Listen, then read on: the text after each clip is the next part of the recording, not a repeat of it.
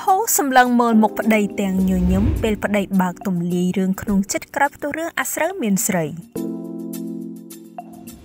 កាលពីពេលថ្មីថ្មីនេះតារាស្រីឈុំភូបានចេញមុខមកបកស្រាយហើយនៅមន្ទិលសង្ស័យក៏ដូចជាព័ត៌មានដែលបានផ្ទុះឡើងថាស្វាមីរបស់នាងលួចមានស្រីកំណាន់ដែលនៅក្នុងនោះក៏បានបង្ហាញភាពស្អាតស្អំរបស់ស្វាមីឲ្យអ្នកគ្រប់គ្រងបានឃើញនិងដឹងថែមទៀតផងអ្វីដែលមហាជនលឺហើយរំភើបចិត្តជាទីបំផុតនោះខណៈបានលឺអ្នកម៉ាក់កូន3រូបនេះបានទម្លាយពាក្យក្នុងចិត្តថាជុំវិញរឿងរ៉ាវដែលបានផ្ទុះឡើងទាំងនោះមិនបានធ្វើឲ្យនាងបាក់ទឹកចិត្តឡើយតែវារឹតកាន់តែធ្វើឲ្យចំណងស្វាមីភរិយារបស់នាងរឿងមាំលើសដើមទាំងដែលនាងក៏មិននឹកស្មានដូចគ្នាថាសុកសុកគេទាញគ្រួសាររបស់អ្នកនាងចូលទៅក្នុងរឿងបែបនេះនោះបើងាកមកមើលលោកណូតដែលជាស្វាមីវិញក៏បានបើកទំនាយការពិតគ្រប់យ៉ាងដូចគ្នាដែលលោកបាននិយាយច្បាស់ច្បាស់ថាគ្រាន់តែរឿងនេះបានផ្ទុះឡើងភ្លាមលោកបានខកទៅសង្សាររបស់ Ten Plate ដើម្បីកុំឲ្យមានការយល់ច្រឡំលើពីនេះទៅទៀតនោះអ្វីដែលលោកបារម្ភខ្លាំងបំផុតគឺភរិយានិងគ្រួសាររបស់លោកហើយសម្រាប់លោកមិនខ្វល់ខ្វាយចំពោះរឿងនឹងឡើយព្រោះវាមិនមែនជាការពិតចំណែកសួរថាប៉ះពាល់ដល់ការងាររបស់លោកឬអត់នោះគឺមិនមានអ្វីប៉ះពាល់នោះឡើយ